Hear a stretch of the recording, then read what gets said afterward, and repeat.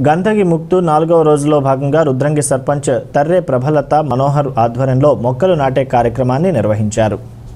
ఇరువైపులా మొక్కలు నాటారు. అనంతరం సర్పంచ్ జడ్పీటీసీ మాట్లాడుతూ గంధగి ముక్తు కార్యక్రమంలో భాగంగా రోడ్డుకు ఇరువైపులా మొక్కలు నాటి నాట్లు వేశారు. హరితహారంలో భాగంగా ప్రతి ఒక్కరూ ఇంటి పరిసరాల్లో మొక్కలు నాటి పర్యావరణ పరిరక్షణకు కృషి చేయాలని కోరారు. అలాగే ఇంట్లో ఉన్న రోజువారీ చెత్తను కూడా గ్రామ పంచాయతీ ట్రాక్టర్లో వేయాలని కోరారు. రుద్రంగి గ్రామం ప్రకృతి పరంగా ఆహ్లాదకరంగా ఉందని ప్రజల సహకారం ఉంటే రుద్రంగి గ్రామాన్ని ఇంకా అభివృద్ధి చేస్తామన్నారు. ఈ కార్యక్రమంలో సెక్రటరీ కృష్ణ వర్డ్ సభ్యులు నాయకులు తదితరులు పాల్గొన్నారు. ముక్తి భాగంలో చెట్టు నారికల కార్యక్రమం జరిగింది. దీనికి సర్పంచ్ గారు ఆ, గారు ఎంపీడీఓ గారు మరియు వార్డు మెంబర్లు అందరూ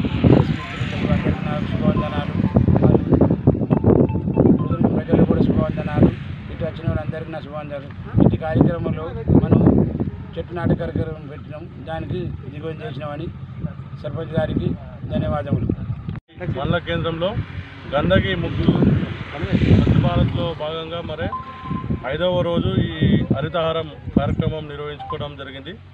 ఇట్టి కార్యక్రమానికి గౌరవ సర్పంచ్ గారు అదేవిధంగా గౌరవ ఎంపీడీఓ గారు ఎంఆర్ఓ గారు వార్డు సభ్యులు పత్రికా మిత్రులందరికీ ఇక్కడికి వచ్చేసిన అందరికీ పేరు పేరున నమస్కారాలు తెలుపుకుంటూ మరి తెలంగాణ రాష్ట్ర ప్రభుత్వం ప్రతిష్టాత్మకంగా చేపట్టిన హరితహారం ఏదైతే ఉందో ప్రతి సంవత్సరం కూడా మొక్కలు నాటుకొని మరి అవి నాటడమే కాకుండా నాటిన ప్రతి మొక్క కూడా బతికించే విధంగా మనం అందరం కూడా కృషి చేయాల్సిన అవసరం ఎంతైనా ఉంది.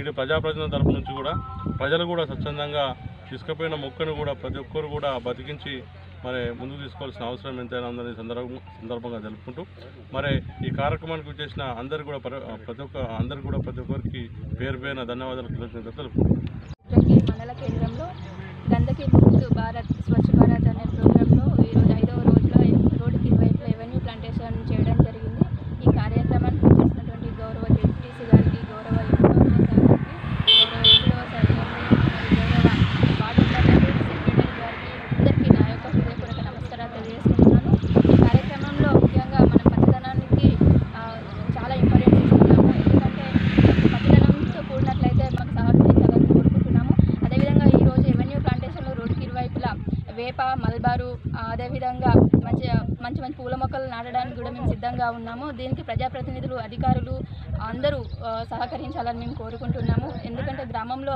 మంచి ఆహ్లాదకరమైన వాతావరణాన్ని అందించాలనే కోరిక మా ఉద్దేశంతోనే ఈ కార్యక్రమం మంచి పూనుకున్నాం కాబట్టి పత్రికా విలేకరులు కూడా మాకు సహకరించాలని ఈ- కార్యక్రమం ఉద్దేశించి మాట్లాడుతున్నాము. ఈ గ్రామ కార్యక్రమం చేసినటువంటి పత్రిక విలేకరులకు అందరికీ నా యొక్క హృదయపూర్వక తెలియజేసుకుంటూ